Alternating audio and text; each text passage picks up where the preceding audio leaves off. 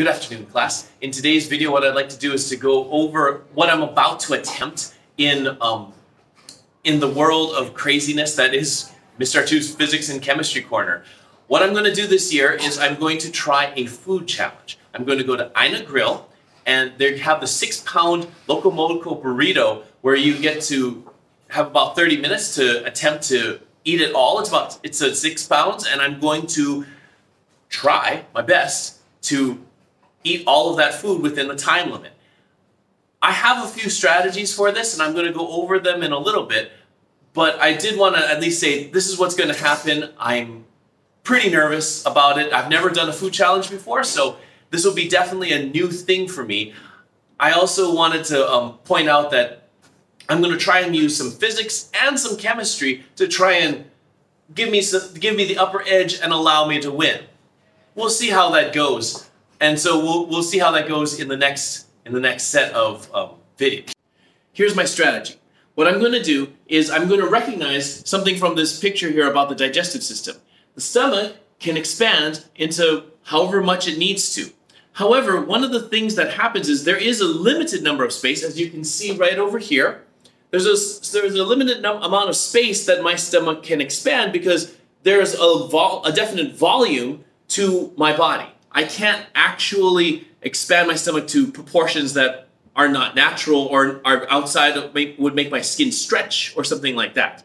So what I would do is in this case I would I would take the idea of giving myself as much room to fill it with food as best I can. And the way I'm going to do that is the night before, I'm just not going to eat anything that entire day. I'm going to be completely fasted. And the reason why I do that is because I want to make sure my stomach is as small as possible and also that it is as empty as possible. And the reason why I want it to be as empty as possible is because then all of my other organs, like my small intestine over here, my large intestines, all of those have room to expand, especially if I've had a chance to um, get rid of all of the um, food that I've had from the previous day and not have anything else being in in the digestive system here it'll it'll allow those organs to actually get pushed pushed down a little bit more um, it'll help me to expand um, all the way up to the outer limits which is basically my rib cage so that's what I'm hoping for to make sure my, that my stomach over here can expand as much as possible so that I can fit the most amount of food that I can so that hopefully, hopefully, I can win this challenge.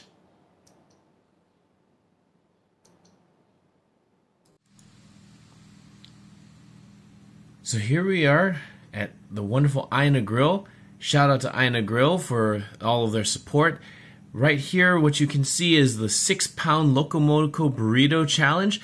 Right now, it is three uh, piles of mac salad. It has um, cheese sauce on top. It has um, hamburger gravy, uh, fried onions, as well as about six fried eggs, six hamburger patties, and several pounds of rice in there. What you'll notice is that my lips is are not actually matching up with all of the um, the video that's going on. And the reason for that is because there was a little bit of music in the background that I had to, unfortunately, take out of the video. So what I'm going to do is I'm just showing I'm doing a voiceover to show what's happening. And as you saw, right there was the first loss of the night with my fork just breaking. So there we go. And now it begins the taking on of this epic challenge. At first, I'm starting to make some pretty good time. I'm going in there, you know, hitting up all of the rice, eating as much as I can, trying to look for that first hamburger patty. Ah, and there I found it. However, you know, I, I was working on it and working through all of the the eggs and the hamburger patty, which was very delicious, by the way. And I'm doing pretty good at that point. This is the point where I ask for some water because I've seen challenges, food challenges in the past, and of course they ask for water. So I thought, oh, that was a good idea. My son earlier had asked for some water, and so that's why I was I was saying maybe I should get some too because that would only make sense. So as we continue with the rice, there I am packing down the rice, and now I'm hitting that second hamburger pack, patty. I'm also trying to make sure that I take into account all of the egg yolk on there because I don't want to leave too much of a mess. I want to make sure that there is um no doubt that that, that I did finish it and that, that some of the um if there's any egg left they wouldn't count that against me.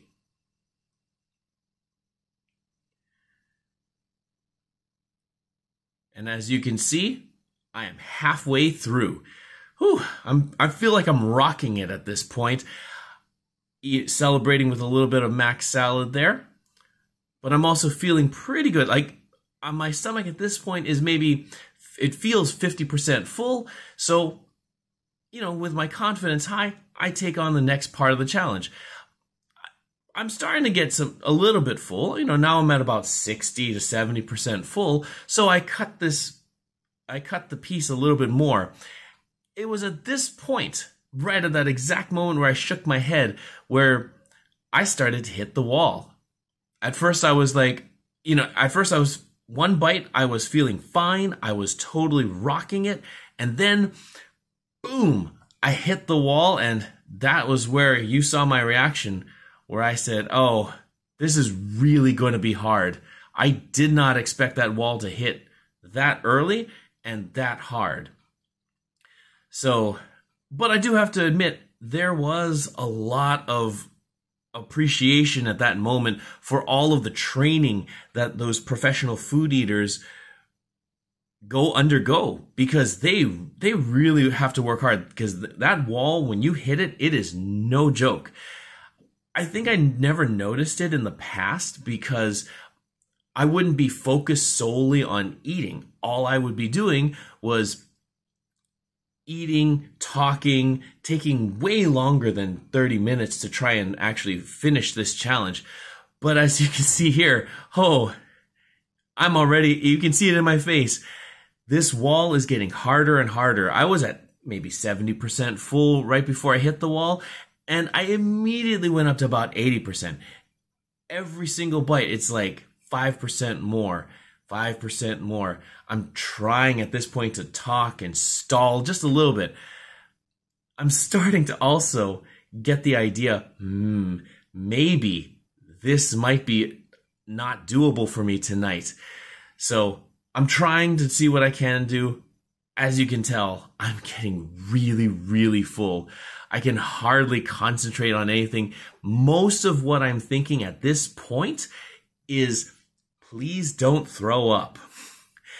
I know that sounds really gross, but I'm re- I really wanted to win this. But now I'm starting to realize, well, maybe a couple more bites, maybe a little bit more rice. I think I can do it. Maybe if I just let, slow my pace down, I can just keep going and maybe I can overcome it. I have time.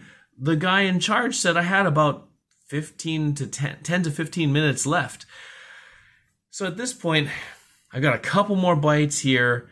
I'm looking at that hamburger patty and I'm like, I'm going to eat this and I'm thinking I can do it. I, I'm, I'm like the, the, um, I'm like the little engine that could. I think I can. I think I can.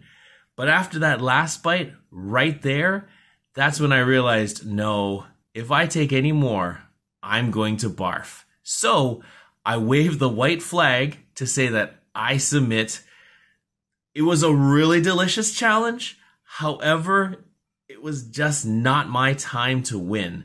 So now it's time to go into the re- reflection stage of what happened during this challenge.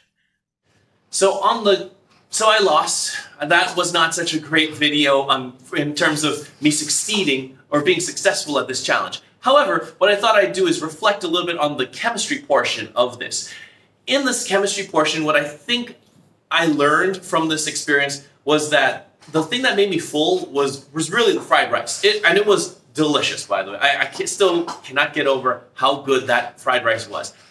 But I probably should have eaten that last. That should have probably been the last thing that I ate. I should have hit those um, hamburger patties first because I'm not gonna lie. When I was going through that, the hamburger patties were like they were the the thing that made me feel sick the most. I, I should have definitely had those first so that that feeling would have been deep inside of my belly, and I would the rice would have been um, a welcome change of pace.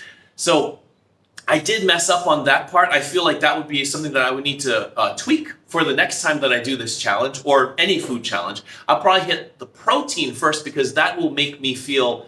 Uh, that would be the most dense thing that I'm going to be putting into my belly. So that's what I think I'll be working on um, for the next time. So, I mean that I, is a learning experience. My first food challenge ever. So you know, you learn, you learn, and get better as time goes on.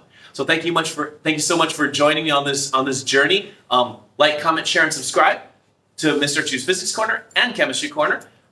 Uh, have a great rest of the day. I'll see you in the next video.